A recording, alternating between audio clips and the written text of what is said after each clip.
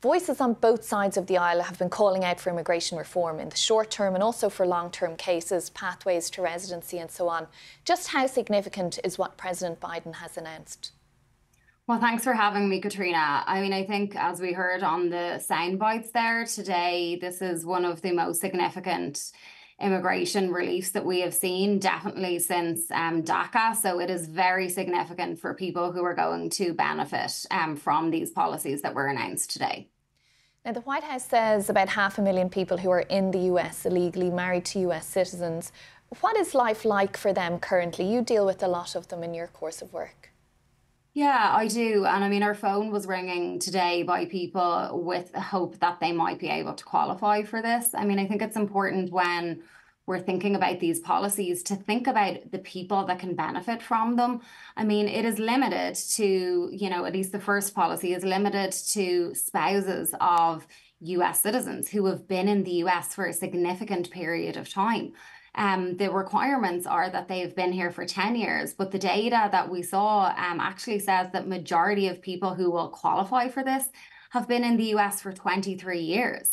Um, and I mean, I was just thinking, what has what how much has my life changed in 23 years or any of our lives changed, right? These people have been stuck in this limbo here where um, so much has changed in the world and they have family outside the US that they have not been able to see. And so they've just been stuck here. And I think that for people who can benefit from them, it, it is truly life changing for them. Will applying for this new policy, Fiona, be perceived to be risky for them or be a welcome development? I think the important thing to point out is that um, there is a misconception, I think, of uh, lots of things in relation to the immigration system. But a lot of people think if you're married to a US citizen, that you can apply for a green card. Um, and you may be able to apply, but you may not be able to complete the process in the US.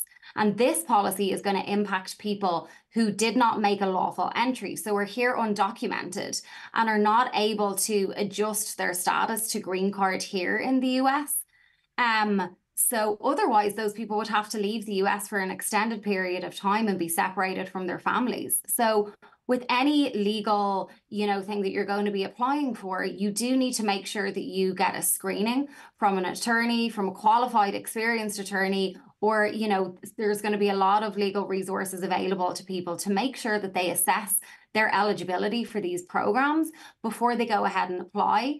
Um, but I think it can really benefit a lot of people. We, we just want to make sure that people are getting the screening that they need in order to make sure that this is um, the appropriate move for them. And so that's for people who are spouses of US citizens. What about the second part of the policy that President Biden unveiled today relating to those on DACA?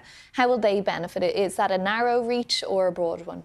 I guess first off, we don't have all the details about these particular programs. We have, you know, some details. So we'll get more details in the coming weeks and months.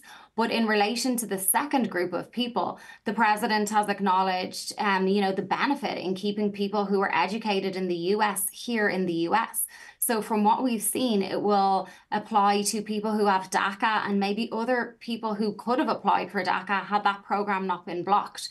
So it's for those people who have a US college education and who also have an employer that is willing to sponsor them for work related visa. And again, we're not for this kind of procedural thing in the law where they have to leave and then they trigger a bar. You know, these these procedural hurdles prevent people from accessing options that other people can apply for.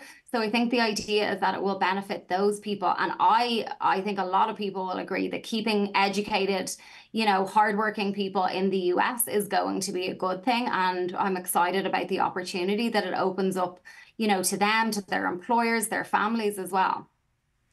And Fiona, just briefly, we know how polarised immigration is in this country right now. Could the policies that President Biden has unveiled here be reversed by another president in the future?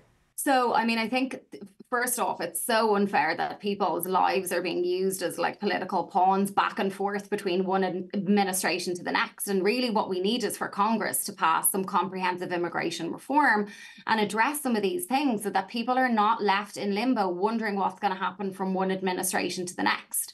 I mean, from what we know in relation to, you know, the parole in place and some of these other waivers, if they are granted and received, um, it's unlikely that they could be reversed from a, you know, by a, a subsequent administration. Um, but we, you know, who knows if they're pending what might happen. We obviously have seen what has happened with DACA, and it's really important that we remember these are human beings' lives that are at stake, and this back and forth and this roller coaster is truly not fair.